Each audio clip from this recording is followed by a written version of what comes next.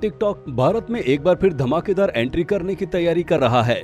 देश में बेहद लोकप्रिय रहे शॉर्ट वीडियो शेयरिंग ऐप की मालिकाना हक वाली कंपनी बाइट डांस भारत में ऐप को दोबारा लॉन्च करने के लिए नए भागीदार को खोज रही है। फ़िलहाल टिकटॉक की भारत में आने की तैयारी अपने शुरुआती दौर में है, लेकिन माना जा रहा है कि टिकटॉक के दीवानों को जल्द ही गुड न्यूज़ सुनने को मिल सकती है।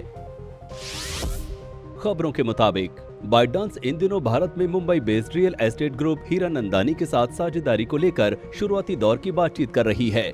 हीरा नंदानी समूह यूटा इंफ्रास्ट्रक्चर सॉल्यूशंस के तहत डेटा से जुड़े काम भी करता है और हाल ही में इन्होंने तेज प्लेटफॉर्म्स लॉन्च किया है जिसमें कंपनी 3,500 करोड़ रुपए का निवेश करेगी। इसके अलावा इससे जुड़ी जानकारी अनौपचारिक तौर पर सरकार को भी दी गई है। बाइडांस ने इन दिनों भारत में कई पदों के लिए वैकेंसीज भी निकाली हुई हैं, जिनसे संकेत मिलता है कि कंपनी जल्द ही भारत में टिकटॉक को वापस लेकर आ सकती है।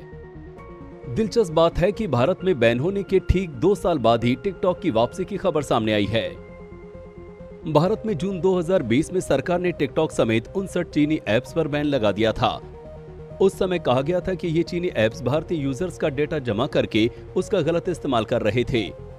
इसके बाद एक और लोकप्रिय गेमिंग ऐप पबजी मोबाइल को भी बैन किया गया था।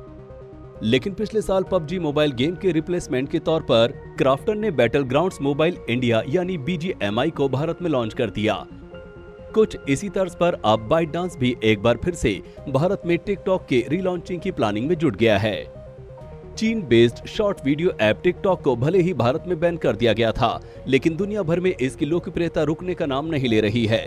टिकटॉक 2022 में सबसे ज़्यादा डाउनलोड किया जाने वाला ऐप बन गया है।